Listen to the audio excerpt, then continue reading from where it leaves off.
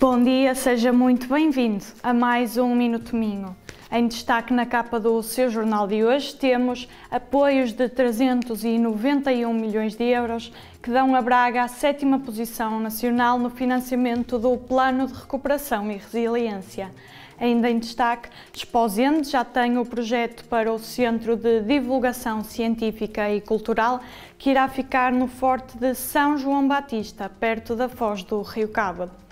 No desporto, António Salvador lamenta a exibição sombria do Sporting Clube de Braga no jogo de ontem e pede um maior rendimento da equipa. Em Paris, Pedro Pichardo dá nova medalha de prata a Portugal, enquanto os canoístas João Ribeiro e Messias Batista partem de Paris com diplomas olímpicos. Encontre estes e outros destaques do seu Diário Domingo em diariodomingo.pt, nas redes sociais e na versão impressa, em qualquer quiosque perto de si. Obrigada por estar desse lado. Tenham um ótimo dia.